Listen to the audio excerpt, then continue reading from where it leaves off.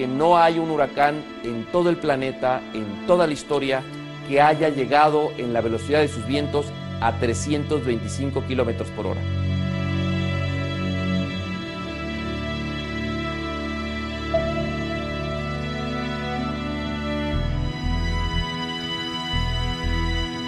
Here, the storm is going to go directly into the center of Mexico.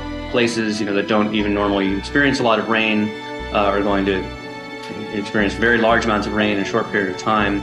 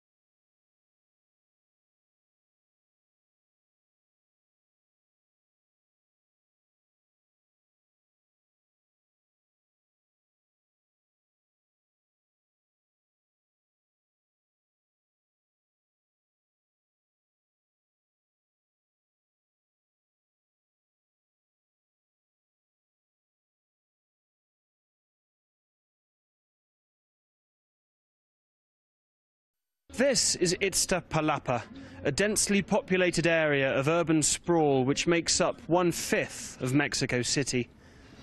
Given the Mexican capital's rapid and often unplanned expansion onto areas of swampland in the east, this district suffers a yearly onslaught of flooding, which displaces families and often destroys the lives of those affected. Last Friday saw 83 millimetres of rain fall, flooding Iztapalapa and evacuating 125 families, including that of Alfredo Guzman, who was only able to return to his home on Tuesday. We worry ourselves to death when it starts to rain. Our houses can collapse, our possessions are often ruined, and waterborne diseases are very common. Last weekend's floodwaters destroyed the interior of Manuel Perez's taxi, preventing him from working. Another resident, Jose Gonzalez, says that even the half-metre concrete barricades he has installed in front of his property are not enough to keep the floodwaters at bay. The street turns into a river, but now my house floods from within as water enters through the overloaded sewers, entering via the shower, sinks and toilets. Mexico City was originally constructed on a lake, which was gradually drained as the capital expanded. Today, lacking proper infrastructure, its more impoverished areas suffer from flooding every rainy season.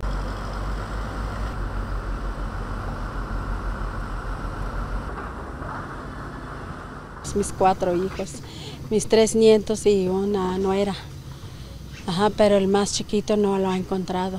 Él tiene un año. Me revolcó el agua hasta aquí me, me, me salvé.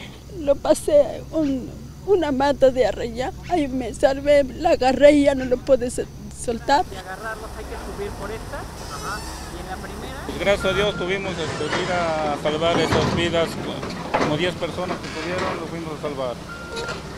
Y allí pues ya no, francamente ya no pudimos pasar porque estaba bien feo. También estaban por allá este, pues, gritando, ¿no? Pero pues como ya no se podía, no lo que pudimos de aquí este barrio. De las dos casas que pudimos salvarlas.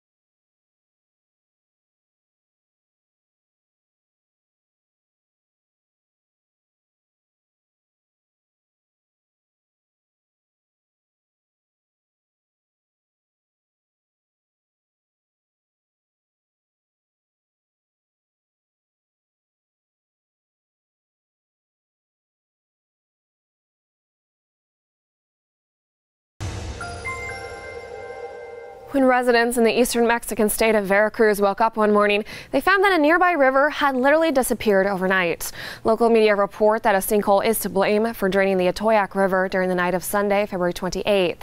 Residents in Rancho San Fermin said they heard a loud bang during the night, followed by rumbling. Juana Sanchez, a woman who lives nearby, told the Spanish news agency EFE that locals noticed that taps were not working on Monday. Sanchez said they went to the river to see what was wrong and found a huge hole had formed and was swallowing the water. Provincial authorities said a crack nearly 100 feet long had opened up, crossing the riverbed almost two miles from the river's estuary, which provides fresh water for more than 10,000 families in the region. Experts believe the river's disappearance may be due to the area's unstable limestone foundation. For Newsbeat Social, I'm Cambry Caldwell.